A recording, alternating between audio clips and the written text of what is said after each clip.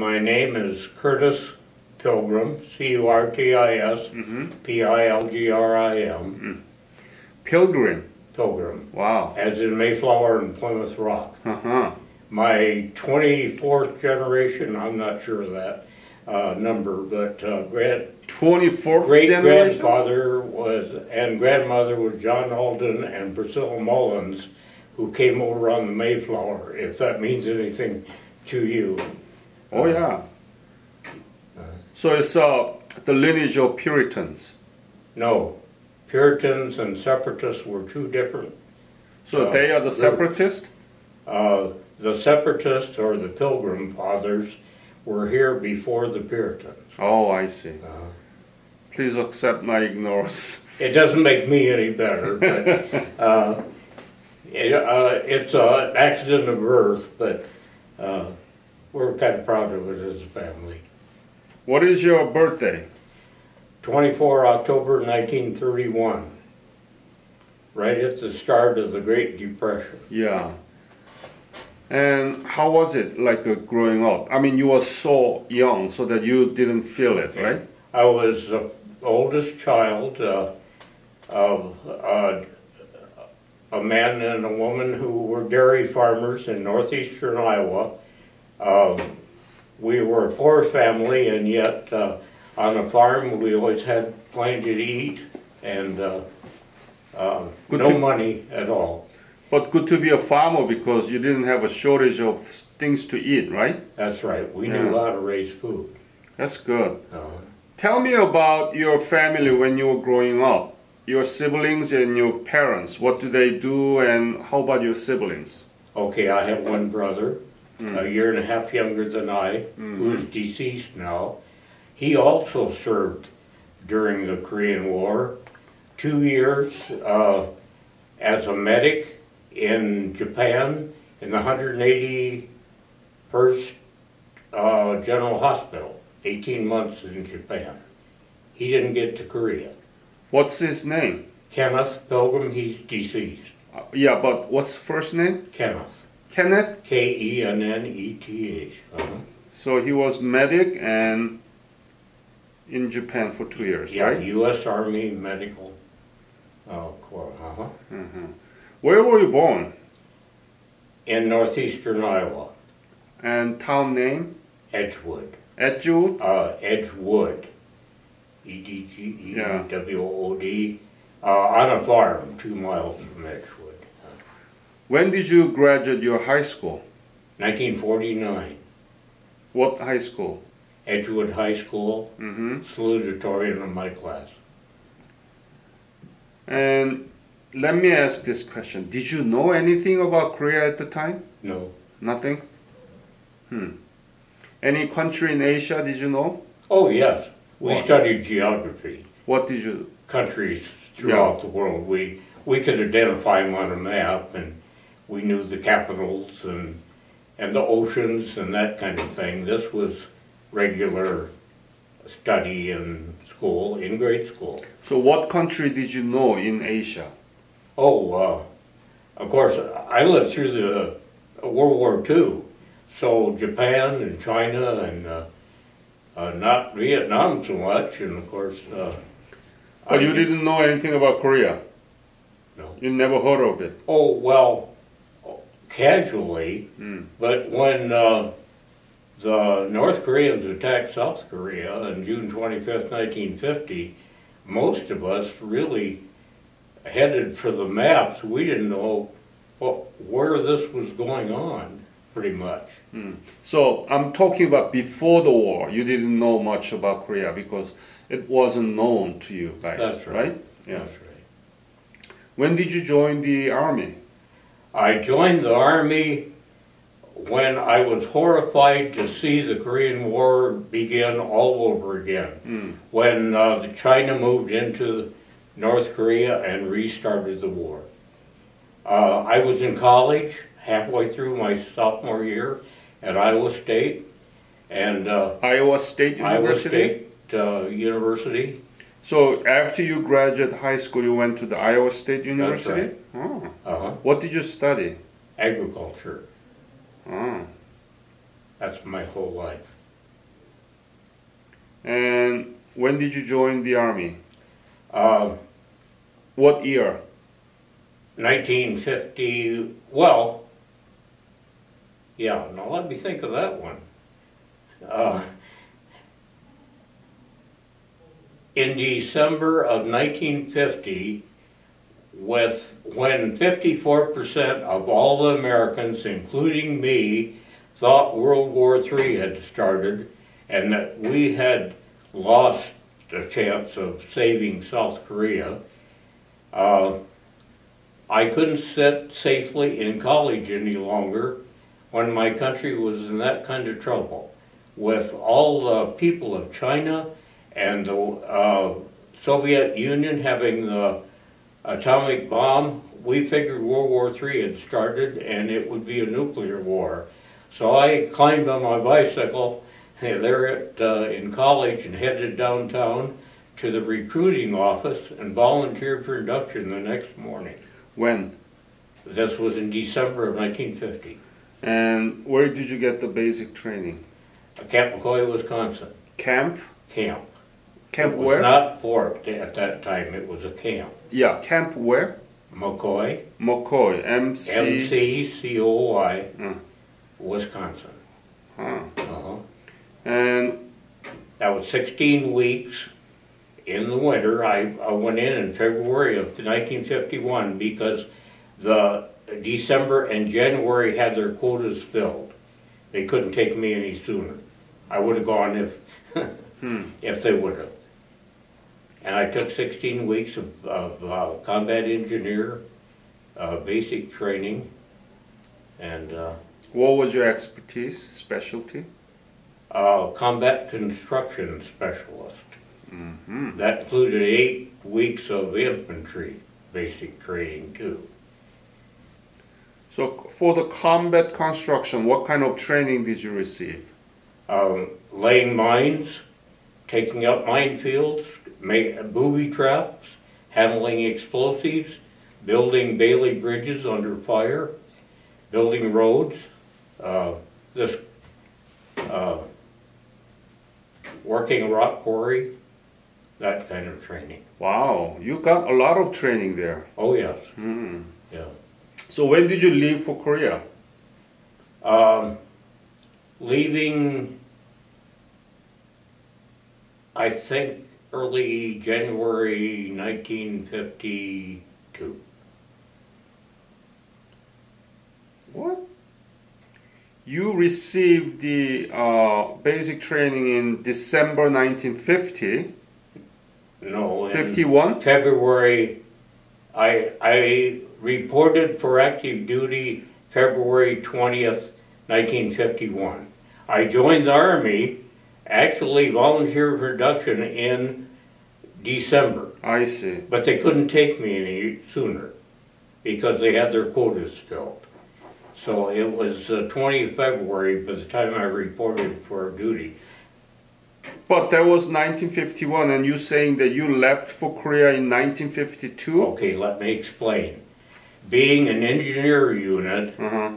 in Camp McCoy after 16 weeks of basic, Yeah. Uh, we were called to Fort Riley, Kansas because the Kaw River in Kansas had uh, a record-breaking flood that ruined the post. It took barracks off their foundations, washed out roads, took out a, a big bridge across the Kaw River, just made a terrible mess of the fort. And we were called down. We lived in a tent city.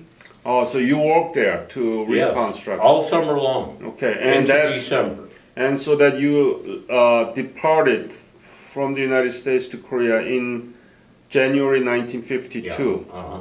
Where did you arrive in in Korea? Okay, Busan. Busan? From Sasebo over to Busan. Ah, Uh, rode a Japanese ship over there. And then by railroad from Busan to Taegu, stayed overnight. And then Taegu up to the Seoul Railroad Station on the train. Uh, and we were uh, attacked several times by guerrillas.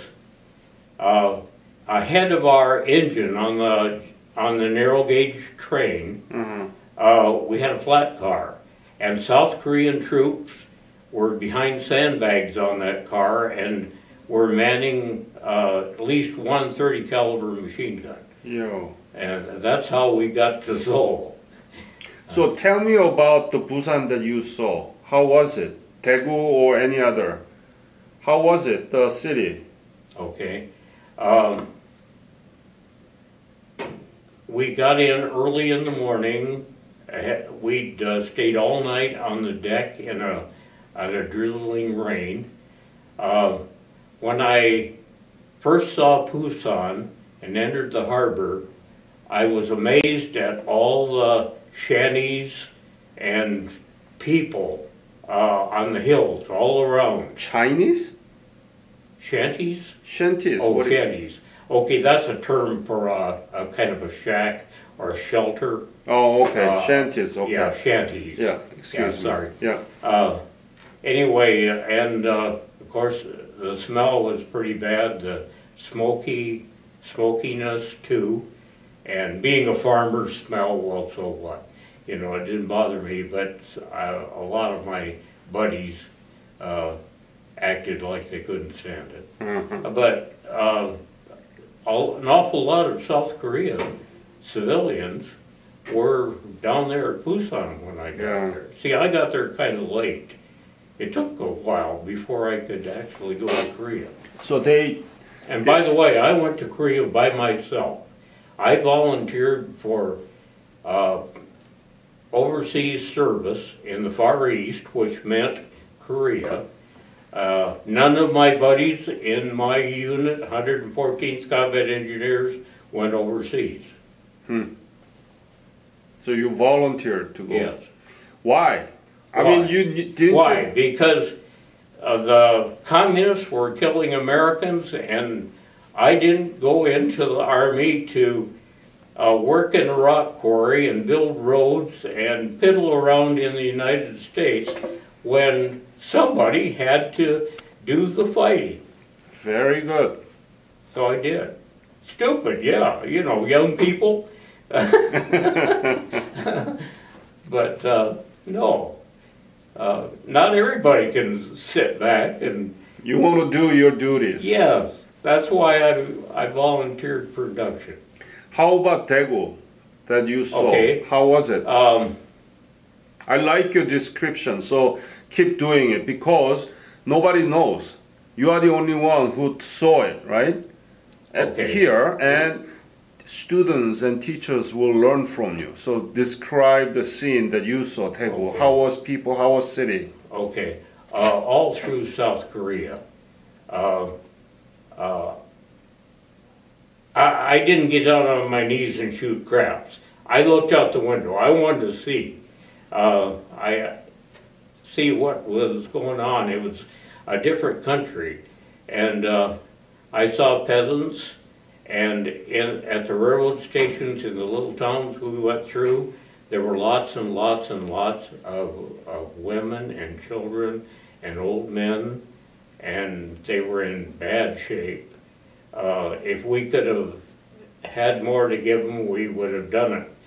But we gave them about everything we had. We had some C rations and candy bars and, uh, you know, piddly stuff. It didn't amount to much, but these were hungry people and, and just devastated. Uh, it was, it was pitiful.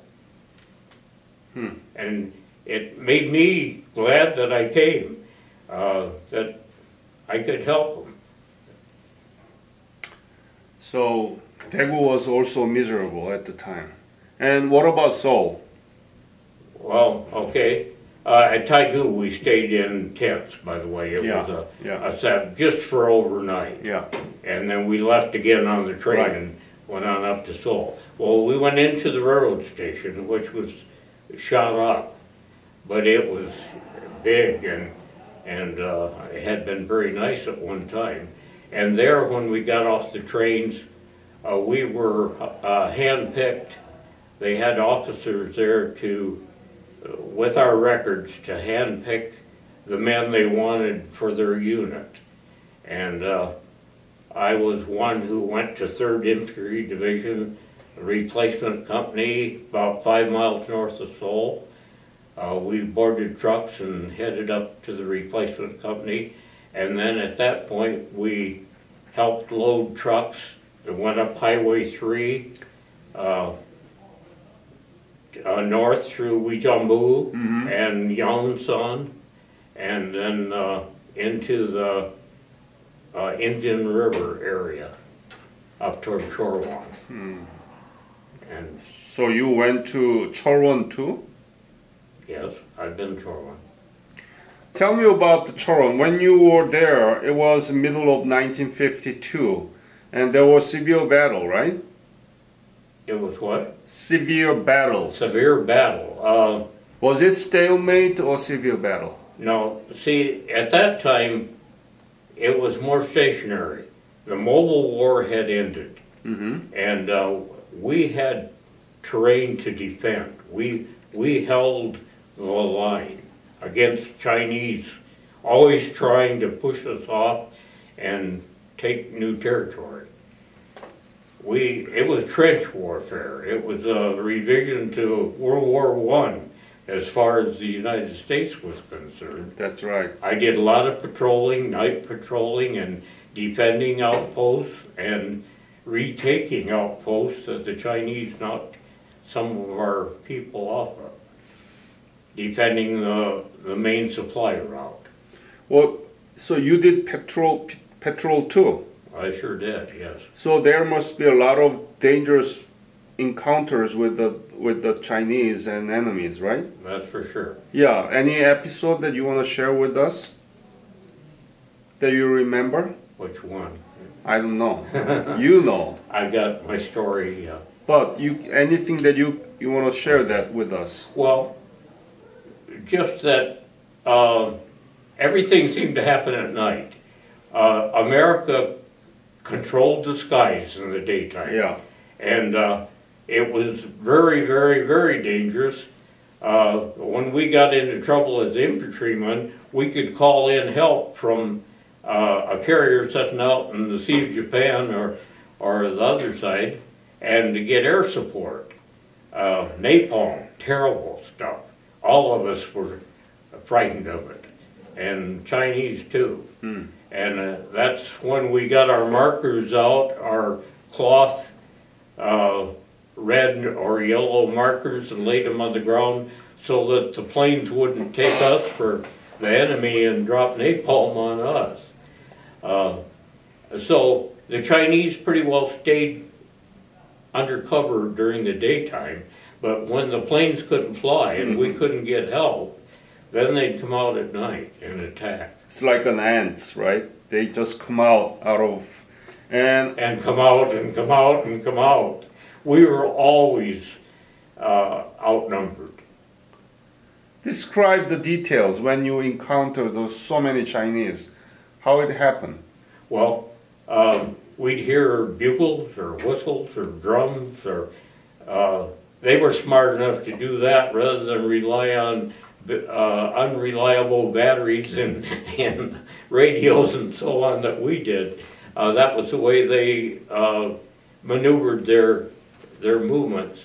Uh, and then they, they'd come in out of the dark and, and uh, hit our outpost to, to knock us off the top.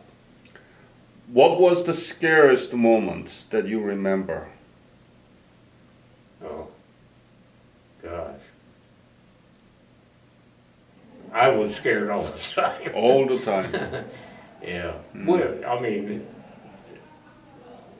somebody, people would have to be insane not to be scared uh, under those kind of conditions. The Chinese were good soldiers. These were survivors from the war the communists fought with the nationalists when they pushed them off the mainland. And they were equipped with American weapons that we had sent to Chiang Kai-shek and the National Chinese to hopefully, uh, so they could hold their country, and they were captured by the communists. And uh, it was weird to be shot at by M1 Garands and Thompson submachine guns and, and carbines, uh, our own weapons there at the start. Hmm. The Chinese were very worthy enemies. They were better than we were. Uh, fresh from the States, a recruit who, yes, had been trained to fight and kill in basic training, but had never pulled the trigger on an enemy. You know, uh, we all were worried and about what kind of soldiers we'd make. And uh, we were pretty well handpicked by the time we got up on the front line. What were you thinking at the time that you had such intensive kind of battle mo- mode with the Chinese? What were you thinking? Did you tell yourself that why am I here? Why am I here? What the hell am I doing here? No? I didn't question that Okay. because I'd seen the misery the, that the communists had inflicted on the South Korean people. I liked the South Korean people. Later on, after I was wounded, uh, I got to know uh, Korean civilians and all. We helped some orphans out, and uh, and uh, back at Third Division Rear Headquarters, uh, we had Saturday afternoons and Sundays off, and I could get out to Seoul and around the neighborhood, and uh, and get to know the people. So How was Seoul actually, and how was your interaction with the Korean people? uh, we were five miles north of Seoul, the I think East Gate, on Highway Three. It had been Kangwon University uh, Commerce uh, building or something. It had been uh, shelled and was in pretty poor condition, but uh, our engineers put the windows back and made it uh, weatherproof enough so that we could have the whole third division headquarters in it. It was third division rear, Where? five miles north of Seoul. Five. But you told me that you were in the Chorwon Valley and so on. Okay, well, see, we, we made a jump here. Uh, I was, uh, hit by shrapnel, Hmm. uh, wearing a, uh, an armored vest. I got hit under the arm with a big piece of shrapnel that cracked two of my ribs and left a big, uh, black and blue spot. A big piece went into where I sit down here and, uh, went clear into my pelvic bone. And uh, about a dozen others, smaller ones, pretty well peppered the left side of my body. And that one that went into my rear end uh, affected my left leg, so I wasn't any good up on the line anymore. And I didn't want to go to the hospital. I, I was in denial.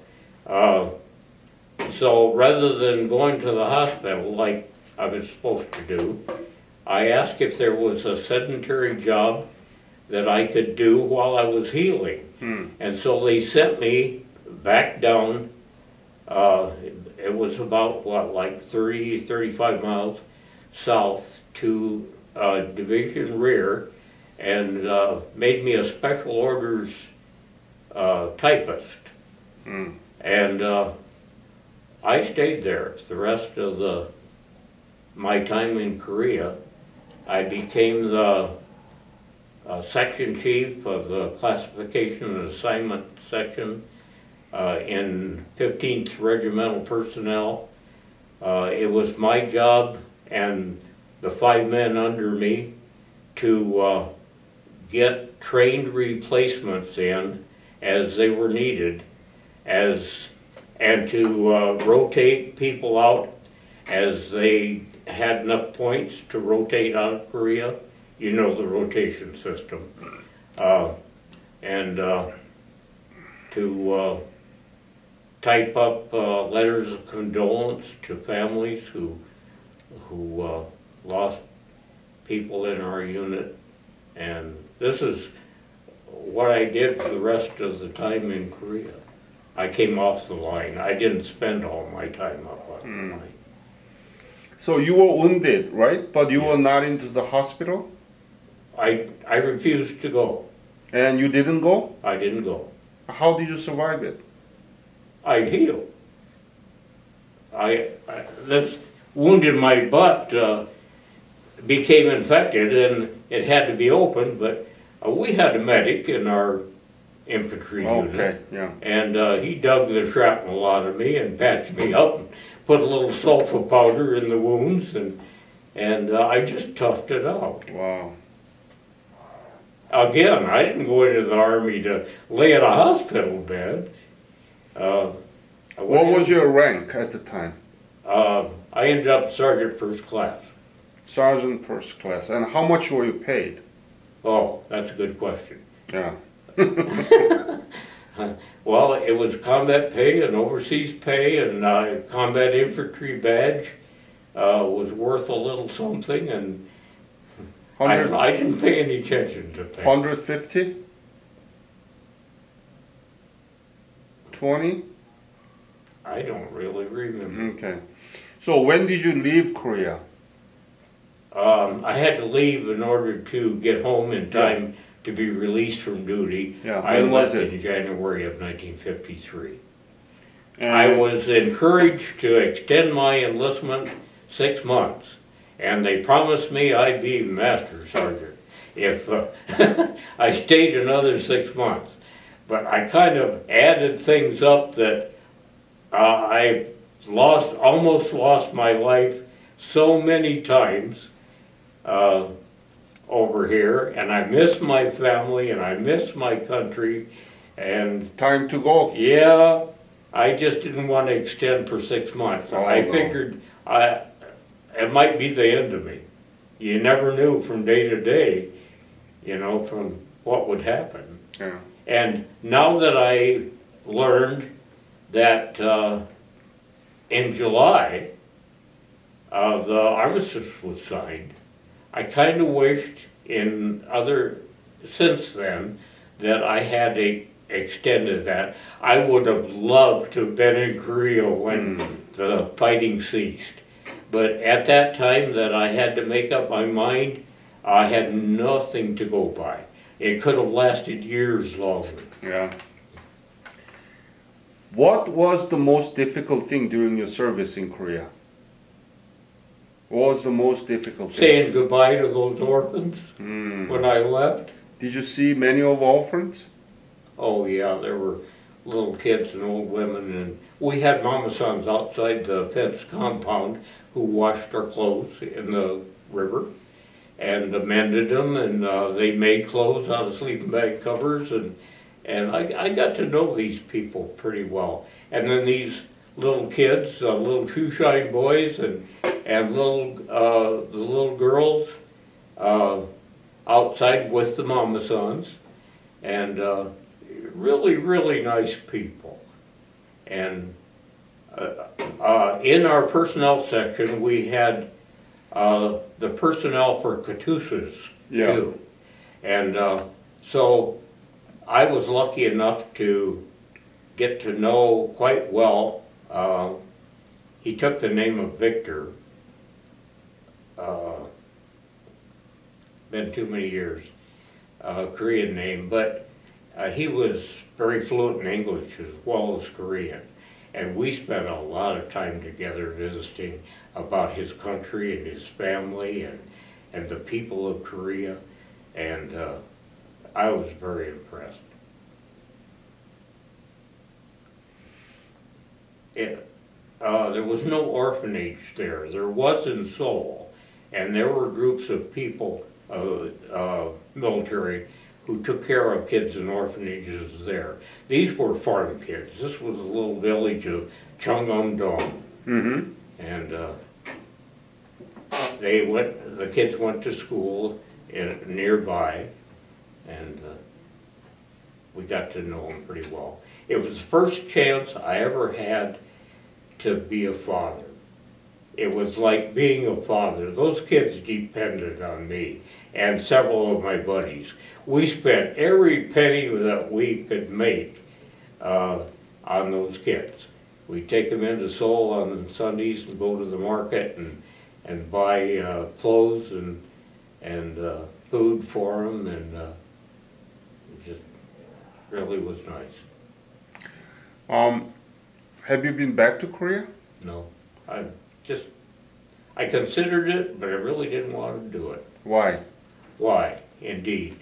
Uh, it wouldn't be anything like it was when I left. I know it's, uh, how it's grown up, it's marvelous. I've seen all kinds of pictures. I got the book that the South Koreans provided us, and I read every word and looked at every picture. But, uh, if I traveled that far again, I'd want to go to some other part of the world. Why? I, that's not a very good answer. I just, uh, I don't know, wouldn't be, I just wouldn't. You know the Korean government has a revisit program. Yeah, so. They invite you back. I, I've considered going, Yeah. and my buddies who've gone rave about it. It was wonderful. And they encouraged me to go. You should go. Well, not at my age, no. No, no, you are fine. You're I'm- fine. I'm eighty-five years old. Everybody is kinda bad 85. on my legs. Everybody has a problem. but they all went to Korea and they couldn't see, I mean, they couldn't believe their eyes. Yeah, I know. I think you need to see it Oh, uh, yeah. with your own eye. Yeah. Uh, You let me know, okay? No, I won't go. You won't go. Okay. So, you know what happened to Korea after you left, right? So much developments You know, there. I watched it closely, and I'm so proud of what the South Korean people have done with the opportunities that we afforded them. It's the most unselfish thing I've ever done in my whole life to, uh, to be in the war in Korea. Mm. as I have more pride in having been a small part of that, probably than anything else in my life. And uh, uh, the South Koreans have just, it's wonderful uh, what they've done to their country. Uh, it made all of our sacrifices worthwhile. What if they turned out to be like North Korea? Right. My God, all they have to do is look over the border and see what they'd been like if uh, we hadn't helped them out there in, in the 1950s. Mm-hmm. So, like I say, I'm, I'm just very proud of the little, little service that I did for them and very proud of my military uh, background. But why do not why don't we teach about these things in our history class? They talk about Vietnam War, they talk about World War II, but they don't talk about this success story. Why is that? I've noticed that, Dr. Han. Uh, yeah. why is that? Yeah, why is it?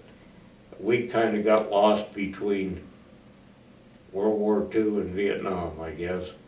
Uh, uh, why?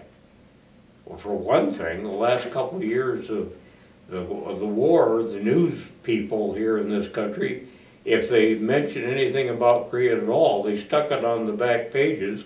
I got home and uh, got in a taxi cab to, to go from a train station to a bus station, and the guy asked me why I was wearing a uniform. That American didn't even know a war was on. And we were fighting and dying in Korea at the same time.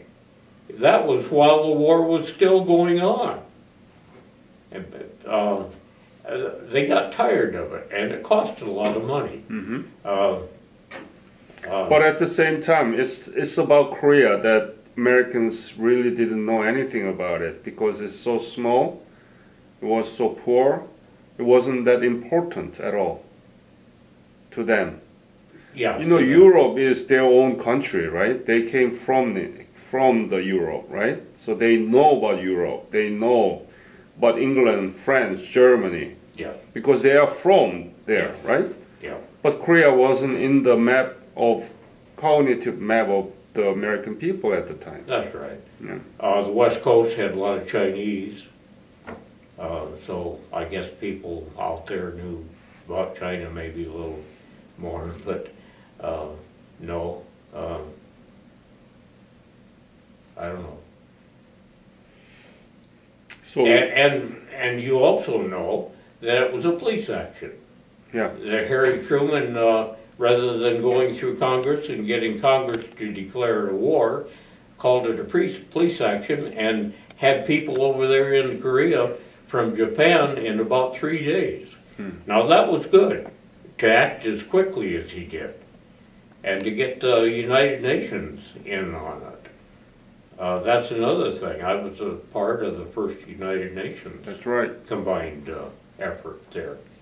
Uh, But I'm awfully glad that uh, America made up the greatest number of the United Nations forces, and they were uh, commanded by American commanders.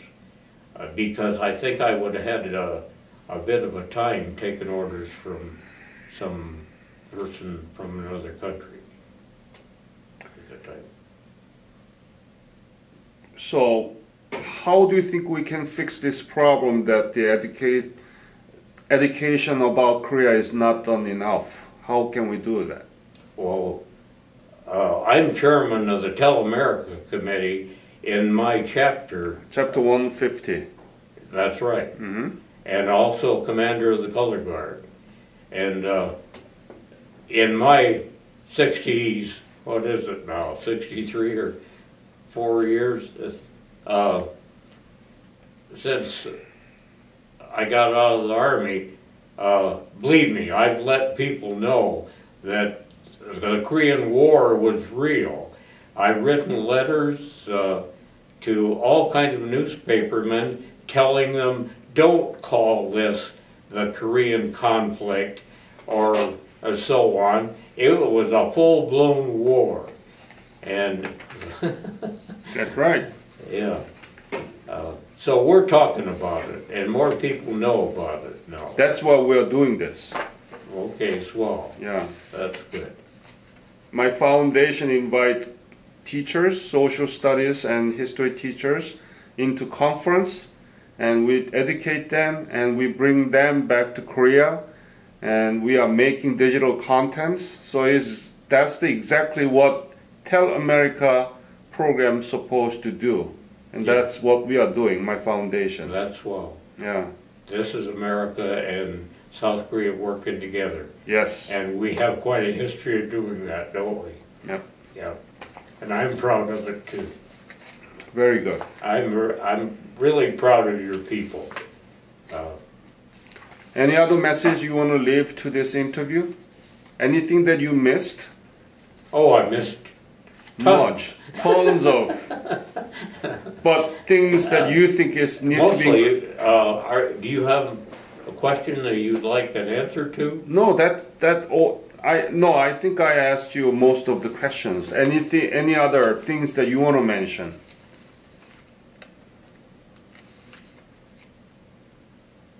You think that you didn't mention here, but it's important. Uh, No, I'll leave that up to you to ask me. Mm-hmm. I, I'd be glad to answer any question you have. Okay. Um, Um, And at eighty-five, I don't have too many years left to answer any questions. So what would you say to the people who say that Korean War has been forgotten? Well, it sure hasn't been forgotten by me, or my family, or the families of any of the people who fought in Korea. Mm-hmm. And of course, uh, every year since, the United States has had, well, thirty-three thousand troops in South Korea for a long time. I think it's less now, more like twenty-eight thousand or something. But, uh, and the United States has has helped South Korea with a lot of money too. Yeah. And I don't begrudge a penny of it because the South Korean people uh, pulled themselves up by their own bootstraps and used that money wisely. Yeah. And they're a country to really be admired today. They're importers of our products and uh, have a, I understand, a democratic government. They've had uh, protests and things, young people, uh, probably communist-led as much as anything, I don't know. No. You know more about Yeah. that. They're just liberal. They are just small. Okay, well, these things happen. Yeah. And look at America for crying out loud. Yeah. But we're still the greatest country in the world. Yeah. Curtis, thank you very much for your fight and sacrifice for the Korean Well, I nation. thank you for, Yeah. for doing this. Uh, As we get as old as I am, uh, we start thinking about, we know we aren't gonna live forever anymore, like we thought we were gonna do when we were twenty. And uh, we start thinking about hoping that people will remember us after we're dead. And uh, these are the kind of things that will keep our memories going. It's just, it's ego, I guess, it's, uh, it doesn't make any difference in the, the timeline of the world or anything, but personally, I think it's important to old people to, to be remembered. We'd like to think we made a difference. Yes. And, and I, I think, uh, there's, most Korean veterans, some are pretty sour, but most Korean veterans, uh, don't really have to worry that during their lives, they did something to make a difference. When they look at your country and see what you have done, uh, it could have been just like North Korea. Thank you again. You made a point, and that's the legacy of the Korean War. We don't want to forget. We want to continue to teach the lesson of the Korean War. And that's how we want to preserve and remember your honorable service. Thank you very much. Yeah, you're sure welcome.